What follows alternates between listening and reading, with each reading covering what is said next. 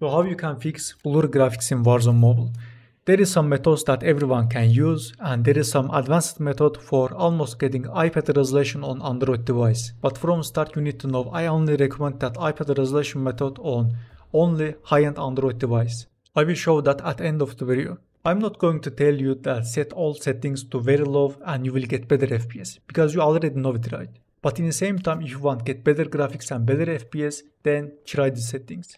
Resolution and upscale needs to be on high and other all settings needs to be on low. For visual settings it actually doesn't matter because if you use it on peak or very low it will be exactly the same on close range. It will only change on long distance because that peak or very low graphic settings is only changing your render distance. That means if you use it on very low, it will be not render that long distance, but in close range, it will be same as peak graphics. Also on high-end device and mid-range device, high graphics are not same because it's on different resolution. For example, Red Magic 10 Pro running Warzone Mobile on 960p resolution, but OnePlus 8 running Warzone Mobile on 832p resolution. It looks like it's have only 15% resolution difference, but actually it makes big difference on graphics. There is also game turbo settings that we can use. I tried on OnePlus and on Red Magic both have that settings. If you have Game Turbo or Games app on your Android device, probably you have it too. So in Game Turbo settings, check GPU settings and from there we can change it for better graphics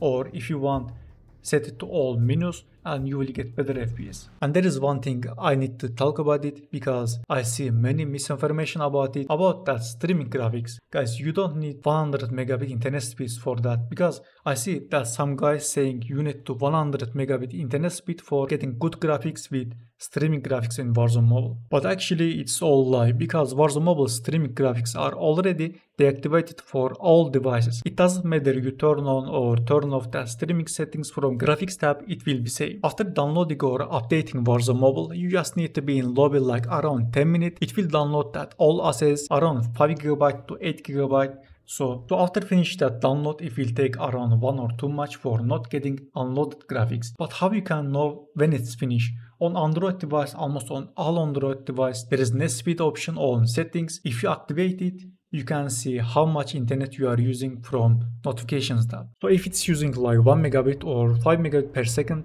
so that means it is still downloading. If it's using 1 to 100 kilobyte per second, then that means it's completed the download. With that you can also see how much internet you are using while playing Warzone Mobile. So in beta when we had streaming graphics it was like using 5 megabit per second in match but now it's using like around 200 and 100 kilobyte per second for only connecting your device to server. So, so there is no streaming graphics anymore. But if there is any undownloaded skin it will download. For example, if your friend have Homelander skin, but if you have not in match, it will be download but it will download for once once only. After download it it will not download anymore. Currently with all assets and maps warzone mobile is around 18 gigabyte so you will know when it's downloaded when it's over 15 gigabyte because on mid-range device it's 15 gigabyte.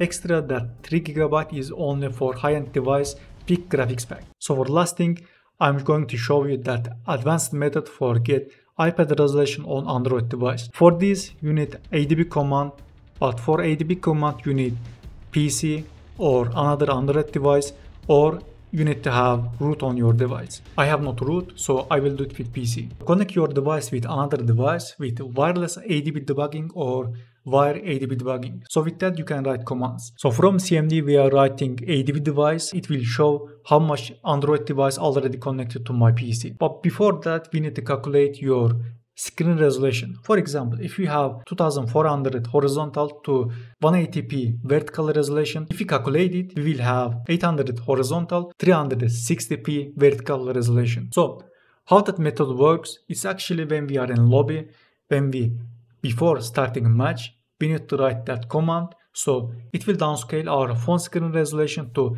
360p. After when we start a match, we need to reset the screen resolution to original with ADB command. So in lobby Warzone Mobile we'll see we have 360p screen resolution and it will set resolution to that resolution. So in pre-match, if we reset it, it will turn to what screen resolution we have.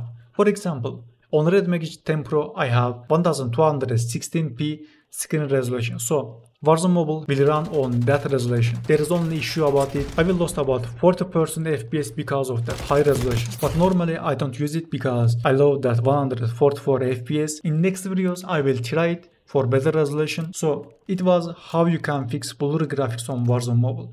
I hope it will be helpful for you. Take care guys. See you soon until next video.